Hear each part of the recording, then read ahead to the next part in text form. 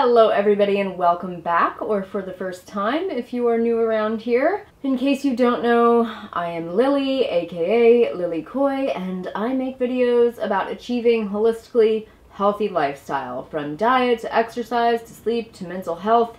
It's all important and it all gets covered. If any of that sounds of interest to you, consider hitting that subscribe button. If you're not new around here, you probably know that I'm vegan. I just wanted to get telling everyone out of the way since, you know, that's a contractual obligation of being vegan. You know, we tell everyone, haha. So since I've been seeing a lot of discussion over the last year, really, about veganism versus plant-based diets, I thought I would chime in with my two cents. So quick definition, in case you don't know, veganism is an ism. It's a belief system which the proponents of veganism translate into a lifestyle. At the core of the vegan belief system is that humans can and should choose to live their lives in a way that results in the least amount of suffering and exploitation as possible. Generally, this belief is interpreted into action by eliminating the use of animal products as much as is practical and possible. That means that we vegans don't eat meat, we don't drink or eat dairy, we don't eat eggs, we don't wear leather, definitely not fur, and we do our best to take the vegan option wherever we can. Unfortunately, a perfect lifestyle where we can avoid all harm and suffering isn't currently possible, but we make these choices wherever they are possible and practical. So veganism is a belief system that translates into an ethics-based lifestyle.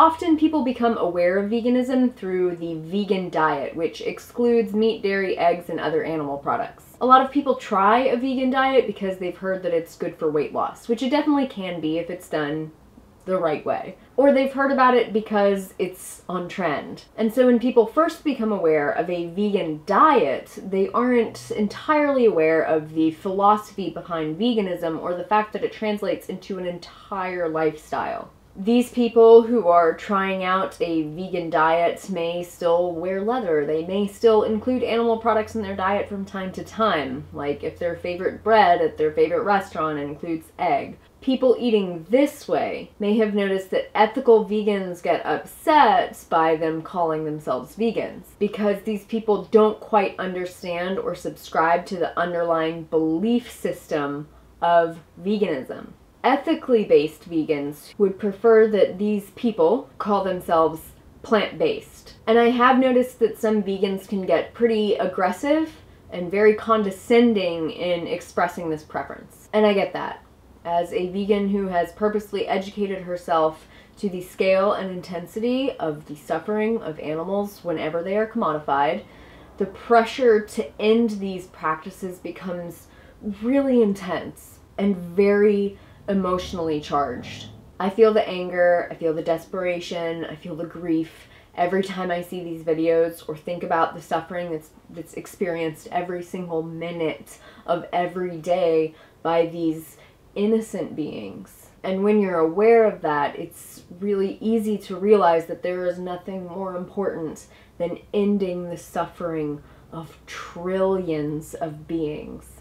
But with that having been said, you may have also noticed that over the last year, I have gotten kind of particular about my semantics and I have switched from describing my diet and the diet that I promote from just a vegan diet to one that is made up of quote unquote predominantly whole plant foods. Why, may you ask, am I selling out and betraying veganism? Well, to be perfectly frank and a little untoward, it's because vegans are doing a great job of stepping on their own dicks when it comes to successfully converting average humans to veganism. And it kind of pains me to say that because I was one of those vegans for a long time, still am sometimes. So I totally get it. The desperation, the grief, the being willing to do anything to make the suffering stop, and the intense feeling of immediacy in needing people to change now. But when I was a little over a year into the whole YouTube hobby thing, I realized that my attitude and my style of communication was actually getting in my own way when it came to introducing veganism to newbies. I was doing a great job of preaching to the already established vegan choir, but people who were trying to approach this lifestyle for the first time were not connecting with my message, and they let me know that. the comments that they left me have helped me to realize how much I was thinking of non vegans as almost non humans. I was equating their ignorance with intention, like they were purposely making choices that caused the most harm possible because they were heartless. Which, to be fair, is true sometimes. There are like some genuinely crapbag human beings that exist. But a lot of humans are not crapbags. And for those good people who do want to make positive changes, what I have learned is that they don't respond to the way that I used to communicate in most of my videos. They change by being informed, by being encouraged, by being supported, and by being given some room to make mistakes without being shamed.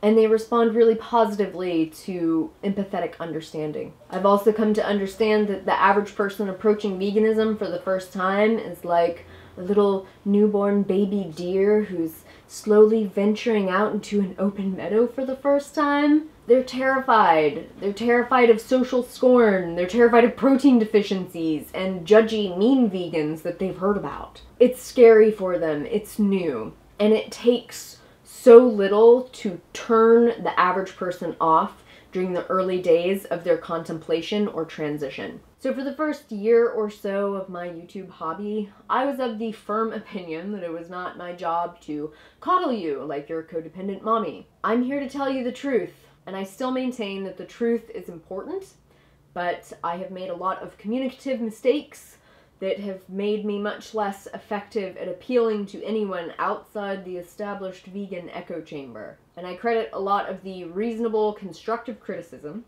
as well as the explosively hateful backlash that I've received from those videos, as the catalyst that has changed my perspective and ultimately my communication style. So I had to take a step back and ask myself, you know, why am I spending my time doing this? Is it to get into a mutually validating judgmental circle jerk with other vegans? Is it to make some clickbait money? Or is it to be a part of the world changing to the extent that it might actually be habitable in a hundred years? And my motivation, for the most part, has always been the last option.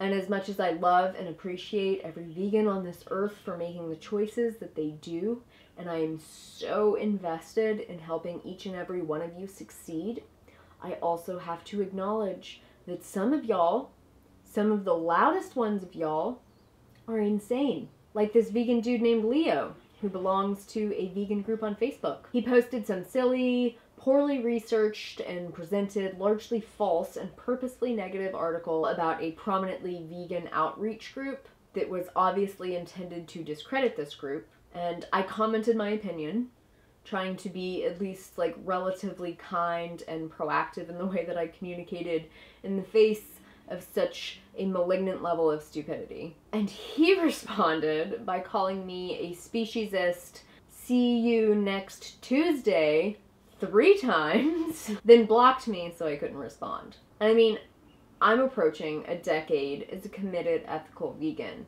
and that guy really soiled my pride in that claim. I mean, I feel turned off by veganism after that kind of experience with that kind of guy. I can't imagine what's a mother of two in the Midwest who heard about veganism on Dr. Oz and just felt kind of curious must think about those kinds of ridiculous outbursts that are really common in these vegan groups.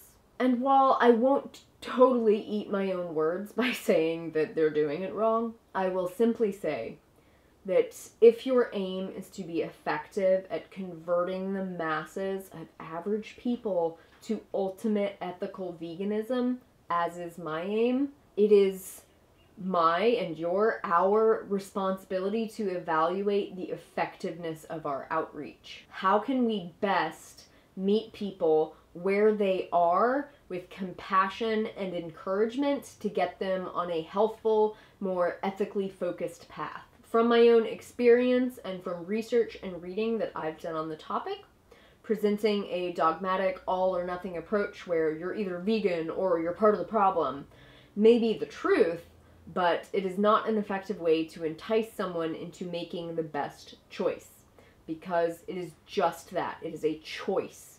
People can choose to dissociate themselves from reality anytime they want. And not only is that a choice, it's the easiest choice. It is the choice that they are encouraged to do every single day by friends, family, mass media, etc. It also feels like the safest choice. It is the most comfortable choice. It's the most common choice. It's the choice that I want to make in this world, and I am a strong, present, persistent, committed, informed, critical thinking person the average person wandering around the wilds of the US or Europe or Australia is not a strong, persistent, present, committed, informed, critical thinking person. They are more like an emotional toddler zombie with a Pepsi IV. Some of those people wake up and they lift their heads up long enough to notice that there's something wrong with this situation and they want to change their lives and they want to change their families' lives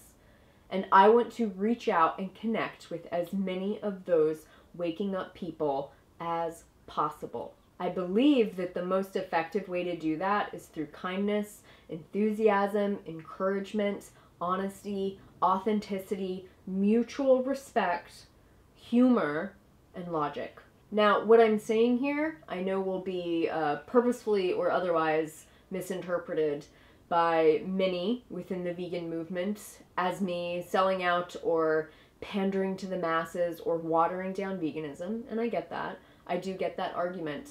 But I'm not saying that anyone is necessarily doing it wrong. I mean, calling someone a speciesist three times isn't going to help anything. But I do firmly believe that peaceful direct action is definitely part of the necessary activism that needs to be done in a holistic way. So I'm not saying that everyone should do their vegan activism exactly like I'm doing it.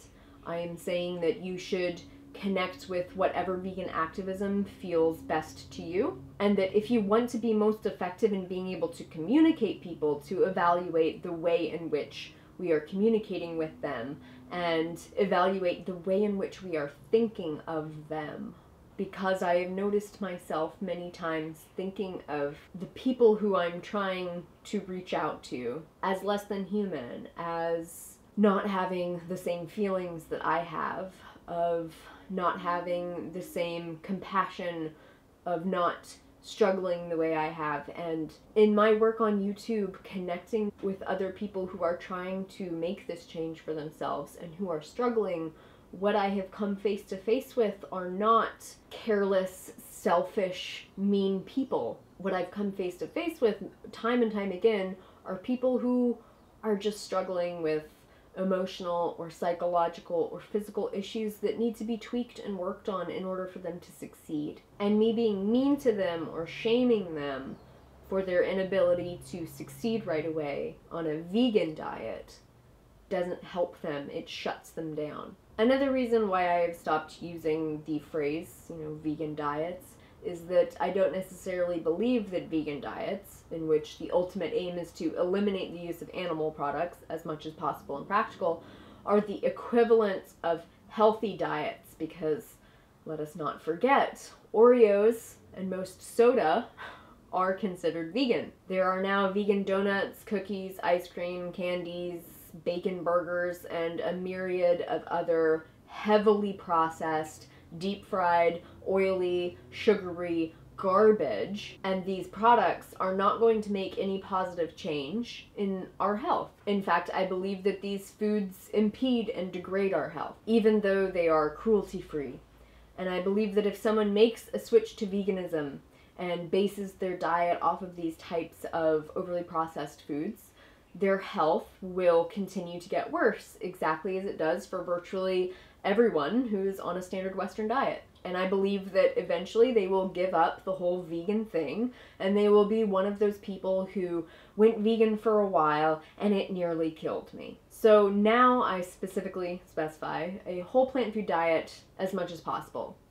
You crowd out the processed, the animal based crap with fiber rich and nutrient dense whole plant foods, and eventually you will become a vibrant, healthy, passionate, accidental, and hopefully ethical vegan. Because as health and vitality improve in a person, our consciousness naturally raises along with it. And once we're already making the choice to eat a diet that's based on whole plant foods, and we see how easy that is, how great we feel, making the step to ethical veganism seems really minute. It seems like an easy step to take, and the painful feelings of guilt and shame that we feel from contributing to the horrors of animal suffering are already largely alleviated.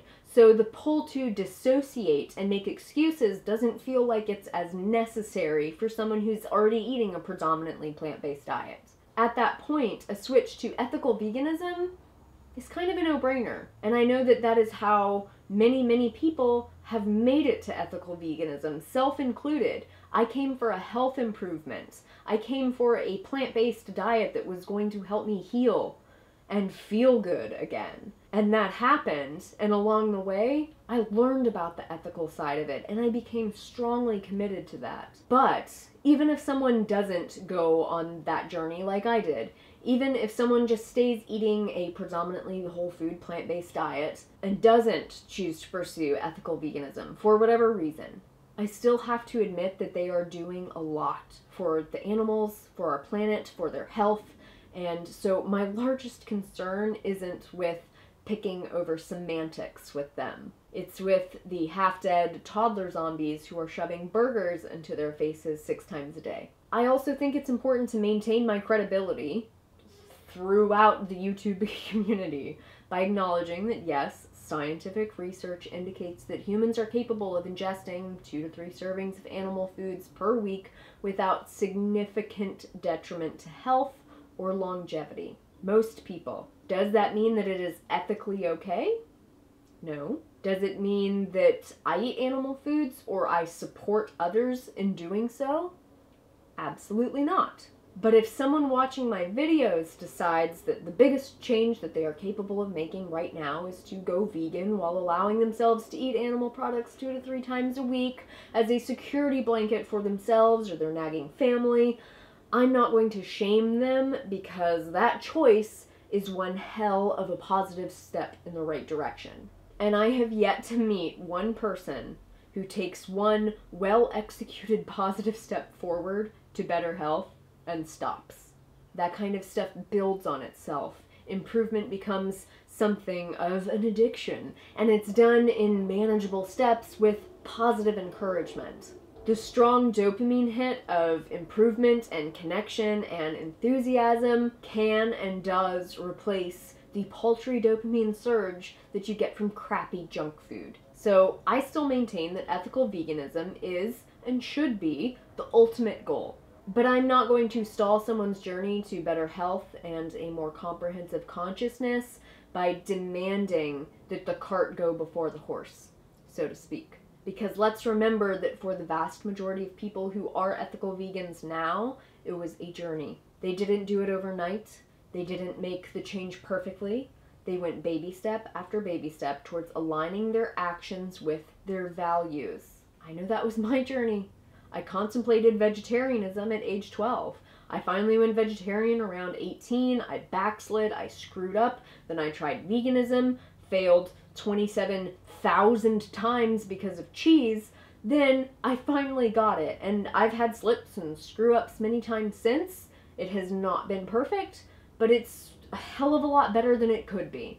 And I support that. I support you in the positive changes that you're making for your health, for your family, for our environment, and for the animals with whom we coexist. I'm going to keep telling you the truth. I'm going to keep reminding and encouraging you to make better choices for yourself because no one will ever do it for you, and to take really, really good care of yourself, of your gorgeous animal friends, of the planet that nourishes us by doing the best that you're capable of doing today. So that's just my two cents on the semantics. Thank you for watching. You know the drill. I will see you all very soon. Petunia doesn't want you to subscribe. She wants your mommy out to herself. Isn't she what? Oh my god. What are you doing? What are you doing, You're crazy?